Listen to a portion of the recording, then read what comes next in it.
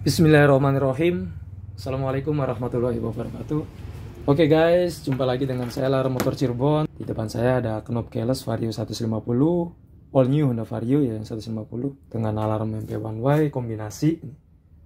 Dan sudah diaplikasikan Dengan modul solenoid Dan ini saya coba rakit modulnya Sistem kerjanya kurang lebih seperti all new Honda Vario 150 yang keyless pada saat kita aktifkan dari remote. Nah, kemudian setelah aktif kita pencet tombol satu kali baru kita bisa nyalakan knopnya untuk sistem kerja all new Honda Vario 150 yang keyless seperti itu. Nah ini saya ingin coba bikin modul sistem kerjanya dengan Vario 150 nah ini menuju ke tombol starter karena tombol starter tidak punya saya coba gunakan tombol yang lain untuk demonya.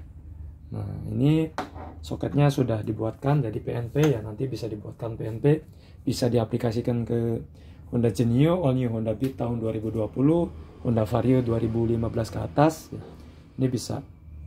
All New Honda Scoopy juga bisa. Nah untuk alarm MP1 wah ini remote-nya nanti ada dua. Kelebihannya pada saat remote-nya hilang kita bisa beli remote-nya saja. Remote baru tentunya harus kita setting terlebih dahulu seperti itu. Jadi aman nih ada merek alarm merek yang sama ya tetangga teman yang pakai alarm merek yang sama dia tidak bisa connect satu sama lain. Baik langsung kita coba. Ini masih dalam keadaan off dan tidak bisa diputar. Kita coba hidupkan. Nah ini tombol starternya kita pencet satu kali.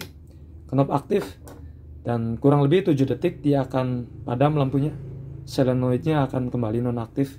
Jadi kita punya waktu kurang lebih 7 detik buat mengaktifkan knopnya. Buat perintah kunci setang, buka jok, ataupun menghidupkan sepeda motornya dengan cara di-on-kan dulu knopnya. Oke, ini masih dalam keadaan off. Kita coba pencet lagi tombol starternya. Ini kunci stang. Nah, ini kunci stang dan dia akan mati lagi nih knopnya solenoid akan off lagi. Nah ini tidak di tidak bisa diperintah lagi. Coba kita pencet lagi. Pindah ke kunci kontak on.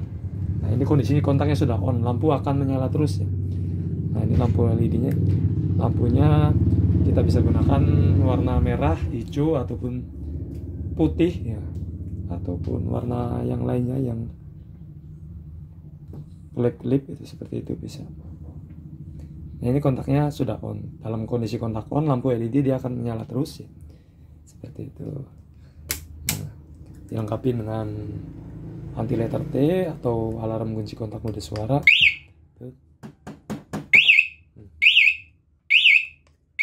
Dilengkapi dengan mode silent juga. Oke. Nah ini untuk menonaktifkannya kita pencet tombol buka ya maka tombol starter sudah tidak bisa bekerja lagi.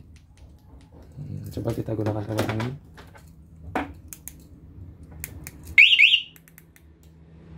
Oke ini sudah aktif dan saya tombol satu kali knop aktif.